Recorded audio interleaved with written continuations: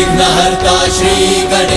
श्री श्री अरुणाचलेश्वर की कथा माँ और पिताश्री के बीच की एक क्रीड़ा से जुड़ी है।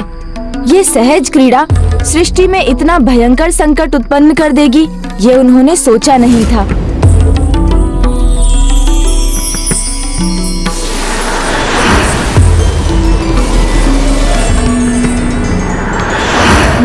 उस क्रीड़ा के कारण जो अंधकार उत्पन्न हुआ, उसके लिए माँ ने स्वयं को दोषी मान लिया और ग्लानी से भर गई।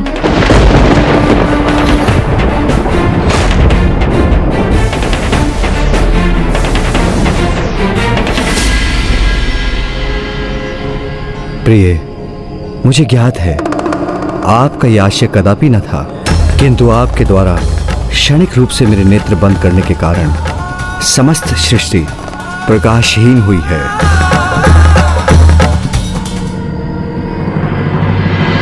इस घटना के कारण समस्त ब्रह्मांड और पृथ्वी भी वर्षों तक अंधकार में डूबी रही। माँ अत्यंत दुखी और ग्लानी में थी और वो प्रकाश को लौटाना चाहती थी। इसलिए उन्होंने यहाँ अरुणाचल गिरी पर आकर प्रभु महादेव की तपस्या आरंभ की।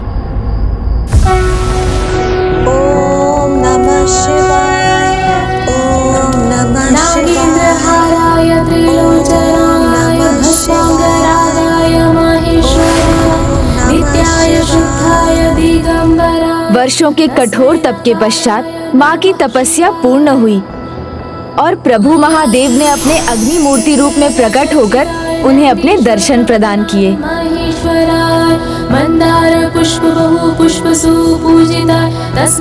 प्रणाम प्रभु। क्या वरदान चाहती हैं आप? प्रभु मेरी जिस सहज भूल के कारण समस्त संसार अंधकार में मेरी वो भूल सुधारने में मेरी सहायता कीजिए प्रभु। और सृष्टि को पुनः प्रकाशित करने की कृपा कीजिए प्रभु। ऐसा अवश्य होगा। धन्यवाद प्रभु। मैं आपके द्वारा आपकी भूल को स्वीकार करने से और आपके तप से अत्यंत प्रभावित हूँ। मैं दिव्य प्रकाश का स्रोत अवश्य हूँ। किंतु उसे सृष्टि में लौटाने का दायित्व तो आप ही ने निभाया है। हमारी भागीदारी से ही सृष्टि का हित संभव है। इसलिए मैं घोषणा करता हूँ कि यहाँ आपके मंदिर की स्थापना होगी। और यहाँ स्थापित आपके रूप को अन्नामलाई, अम्मा के नाम से जाना जाएगा। अर्थात वो माता जिन्होंने सृष्टि को पुनः प्रकाशित किया।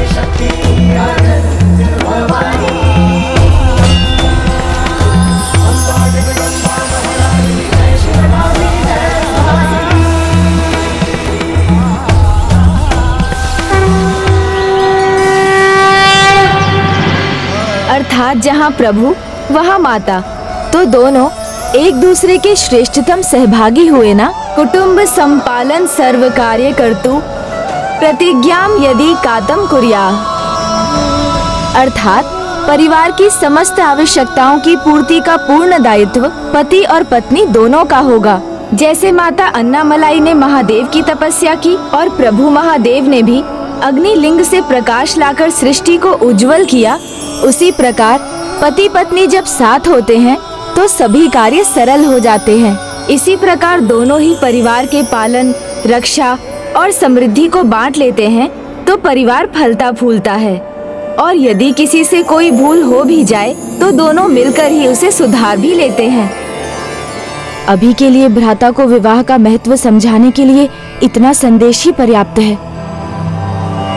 और भ्राता, माँ की तपस्या के परिणाम स्वरूप पिताश्री के अग्निलिंगम के प्रकट होने और प्रकाश के विस्तार होने के कारण यहाँ प्रत्येक वर्ष कार्तिक मास में उत्सव मनाया जाता है, जिसे कार्थी गई ब्रह्मोत्सव कहते हैं। अरुणागिरी के शीर्ष पर एक विशाल दीपक प्रज्वलित होता है, जिससे उत्पन्न प्रकाश उन साधारण जीवों को प्रभु के अग्निलिंगम के दर्शन कराता है, जो पृथ्वी से दिव्य अग्निलिंगम के अनंत विस्तार को देखने में असमर्थ होते हैं। अवश्य गणेश। ये कैसा अप्रिय प्रकाश है यहाँ? माता ये प्रकाश इस बात का सूचक है कि प्रभु कार्तिकेय मेरे भ्राता की रक्षा कर रहे हैं और वहाँ हो रहे असुरों के अत्याचार को सहने की शक्ति दे रहे होंगे। प्रभु स्वामी की जय। पुत्र जयंत बड़ी प्रसन्नता की बात है कि तुम कारागृह से मुक्त हो गए। किंतु तुम जा कह रहे हो? और क्या अग्निदेव? सूर्य पद्मन को समझाने। नहीं पुत्र उस दुष्ट को फिर से कोई अवसर मत दो कि तुम्हारा वो कोई अहित कर सके। मेरे रक्षक स्वयं प्रभु कार्तिकेय हैं। तो मुझे किस बात का भय? मेरे प्रभु सदा मेरे साथ है। इसलिए मेरी चिंता मत कीजिए। किंतु जो सत्य मैंने समझा है उसे सूर्य पद्मन को समझाने का प्रयास करना मेरा धर्म है। ओम सुब्रमण्यम कार्तिकेय स्वामी। ओम सुब्रमण्यम कार्तिकेय स्वामी। अनुज गणेश एक बार पुनः तुम्हारे मुख से प्रभु कथा सुनकर मन अत्यंत आनंदित हुआ। किंतु अब हमें शीघ्र अति शीघ्र अग्निलिंगम पूजा संपन्न करनी चाहिए।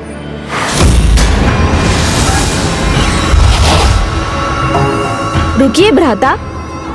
पहले यहाँ की उचित पूजा विधि तो जान लीजिए क्योंकि पादुका धारण किए बिना अपने ध्यान को भंग होने दिए बिना और किसी भी अवस्था में अस्त्र उठाए बिना अरुणाचल गिरी की प्रदक्षिणा से ही यहाँ की पूजा पूर्ण होती है। उचित है गणेश। मैं प्रदक्षिणा के लिए तैयार हूँ। चलो आओ। अब तैयार तो मैं भी हूँ। तुम्हें रोकने के लिए बालक कार्तिकेय।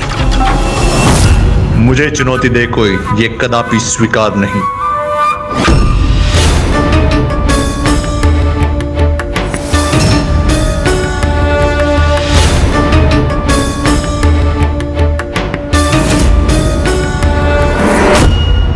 तुम यहाँ? मेरे कारागार से कैसे मुक्त हुए तुम? और बिना मेरी अनुमति के यहाँ पे प्रवेश कैसे किया? इतना साहस कहाँ से आया तुम में? यही तो समझाने आया हूँ तुम्हें सूर्य पद्मन जिस सुरापद्मन के बल का डंका धरती से लेके स्वर्ग तक गुंजता हो उसे तुम ज्ञान देने आए हो तुच्छ बालक। तुम आश्चर्य है। बलशाली सम्राट इसमें ना कोई आश्चर्य होना चाहिए और ना ही कोई संकोच होना चाहिए। ज्ञान प्राप्ति में छोटा या बड़ा नहीं देखना चाहिए। बस उसे सहज स्वीकार करना चाहिए। ये बालक ज्येष्ठ के साथ इतनी बात कहने का दुस्साहस कर रहा है। तुच्छ बालक अब तुम मुझे भलाई और बुराई का ज्ञान दोगे? क्यों नहीं दे सकता? किसी को साहस करना ही पड़ेगा।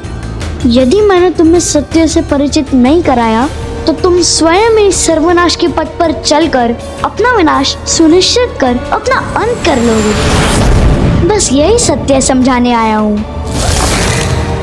भ्राताश्री आप इस बालक को मुझे सौंप दीजिए।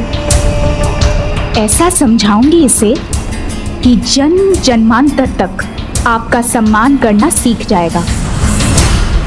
अच्छा तो आज वो मेरे सम्मान की बात कर रही जो मेरे शत्रु के सामने अपने सम्मान की रक्षा नहीं कर पाई। मेरी उस भूल के लिए मुझे क्षमा कर दीजिए ज्येष्ठ और अब मुझे उस भूल को सुधारने का आपकी सेवा करने का एक अवसर प्रदान कीजिए। सेवा करना चाहती हो मेरी? तो मेरे सामने आने की भूल मत करो। मत भूलो कि मात्र एक नारी हो तुम।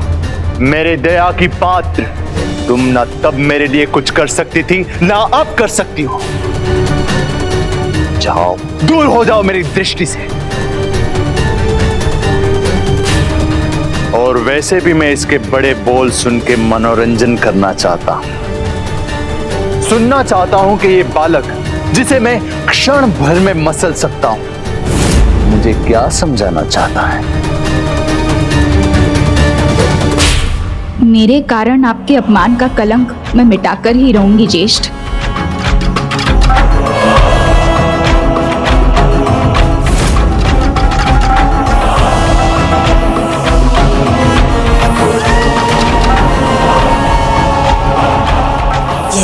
का वातावरण क्यों है?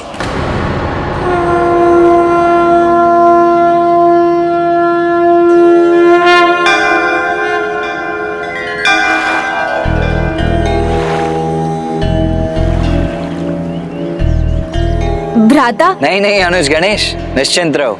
अब तुम्हें मुझे कुछ भी समझाने की आवश्यकता नहीं है। सब स्मरण है मुझे। पादुकाओं के बिना ही ये प्रदक्षिणा पूरी करनी। है किसी भी कारण से ध्यान में भटकाव नहीं आना चाहिए। परिस्थिति चाहे कैसी भी क्यों ना हो, प्रदक्षिणा पूरी होने से पूर्व अस्त्र नहीं उठाने हैं। जब संपूर्ण एकाग्रता, पूर्ण निष्ठा और भक्ति के साथ ही प्रदक्षिणा पूरी की जाएगी, तभी इसका उचित फल प्राप्त होगा। क्यों? उचित है। तो आओ।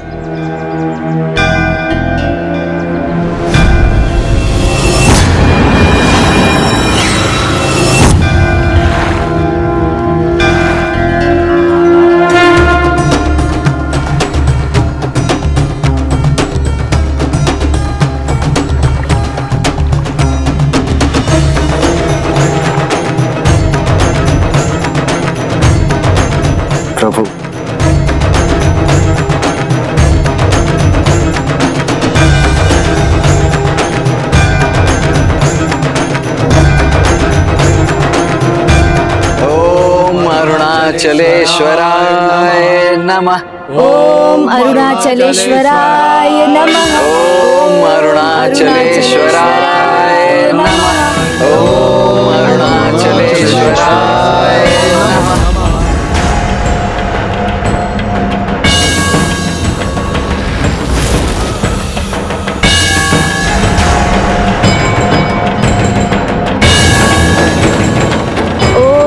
अरुणाचलेश्वराय नमः।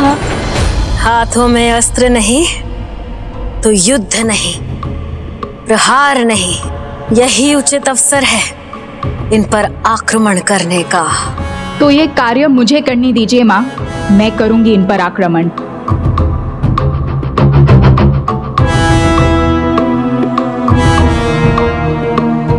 माँ, मुझे आज्ञा दीजिए।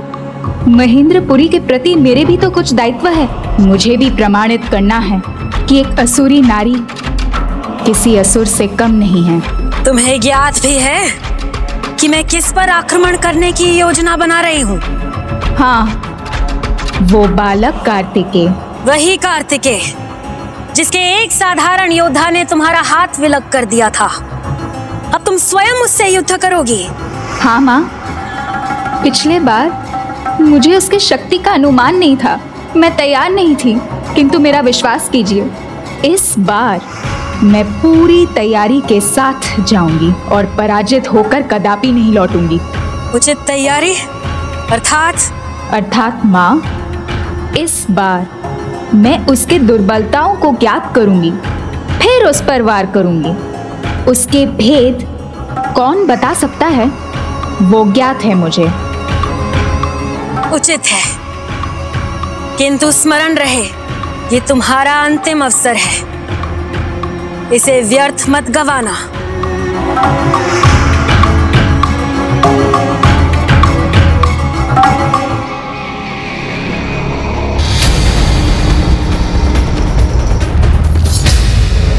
ओम सुब्रमण्यम कार्तिकेय स्वामी।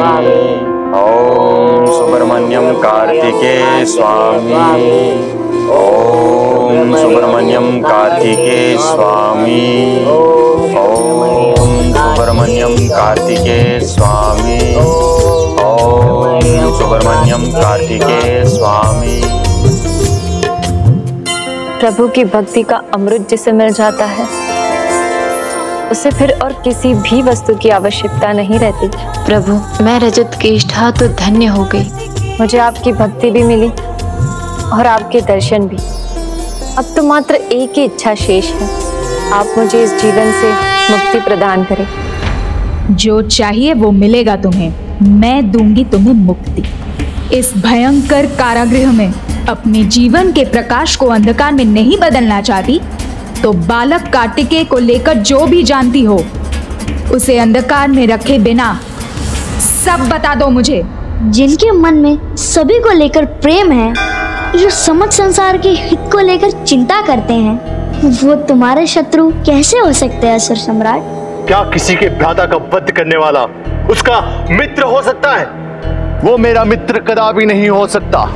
मित्र से भी कहीं बढ़कर वो तो सर्वोच्च मार्गदर्शक हैं। भगवान है वो जो दुष्ट पापियों को भी उचित मार्ग पर ले आते हैं जिनके हाथों मिली मृत्यु भी प्रसाद के समान है। वाह वाह जयंत वाह। मेरा भ्राता दुष्ट और जिसने मेरे भ्राता का अंत किया वो भला है वो भगवान है।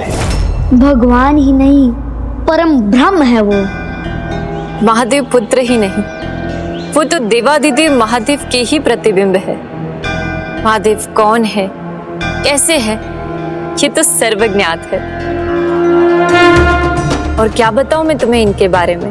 बस बात को घुमाओ मत जो भी जानती हो सब बता दो मुझे। ये अद्भुत है। अत्यंत बलशाली अनंत ज्ञान सागर। तुम इन्हें देखोगी ना तो मंत्र मुग्ध हो जाओगी।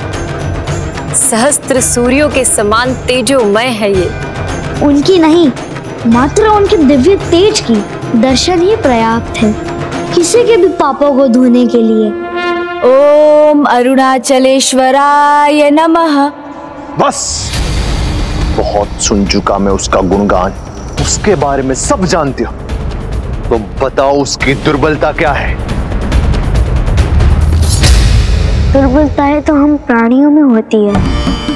वो तो सभी दुर्बलताओं के परे है। भगवान है वो। उनमें दुर्बलताओं को ढूँढने का प्रयास मूर्खता है।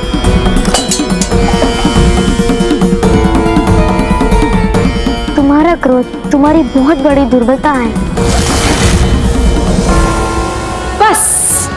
बहुत हुआ तुम्हारा ये अनर्गल प्रलाप। प्रभु।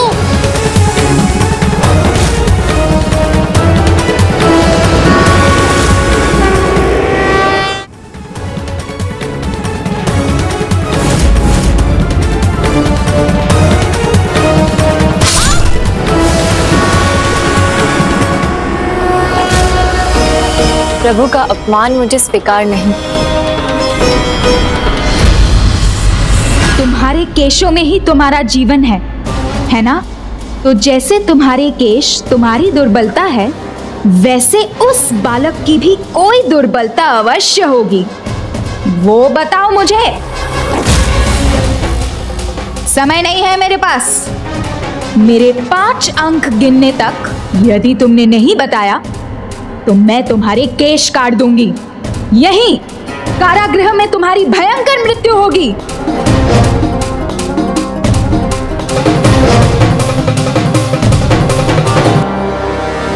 तुम पाँच गिनो।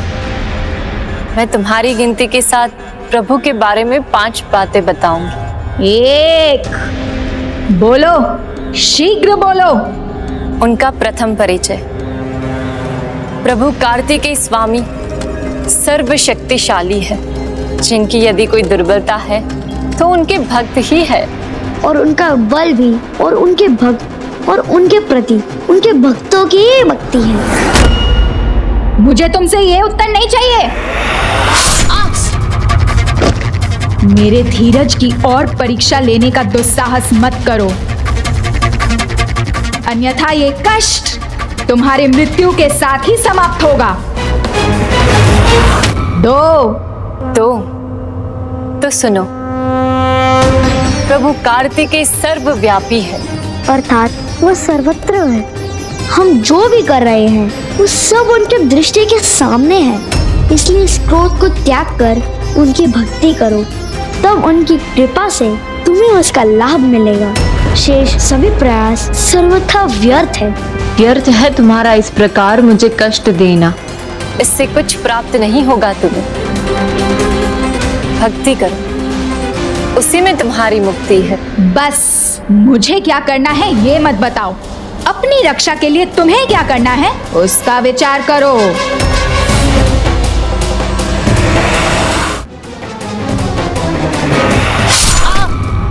तीन।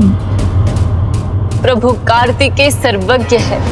संसार का कोई भी ज्ञान उनसे छिपा नहीं है। संसार में ही क्यों? समस्त ब्रह्मांड में जो भी है उसका संपूर्ण ज्ञान है प्रभु को। उचित अनुचित का भेद भी और किसके मन में क्या योजना है वो सब जानते हैं। इसलिए अभी भी समय है। समय याचना कर लो उनसे करुणा सागर है वो।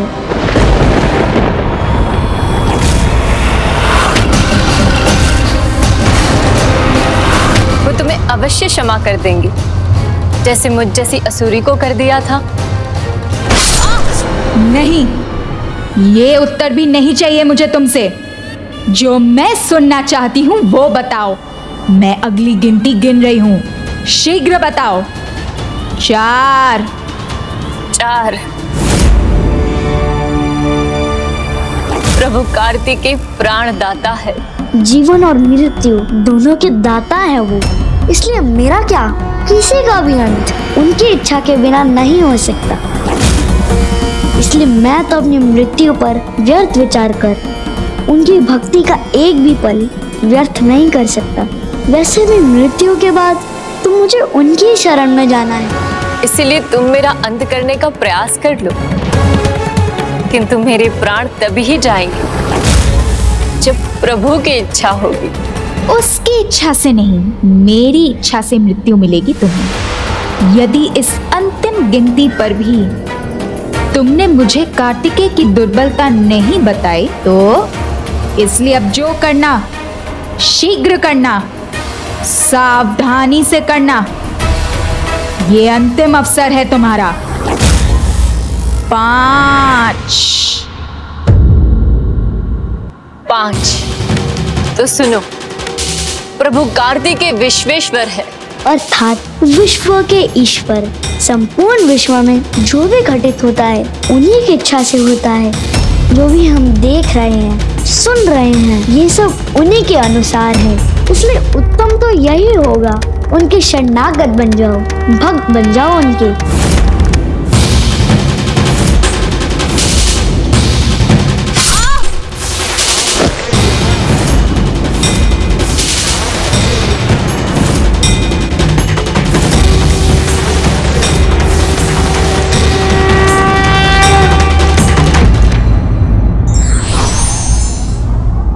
के सत्य स्वरूप को पहचानने में सभी की सहायता करनी चाहिए। फिर वो शत्रु हो या मित्र। For more update subscribe to our channel click the show link and enjoy watching videos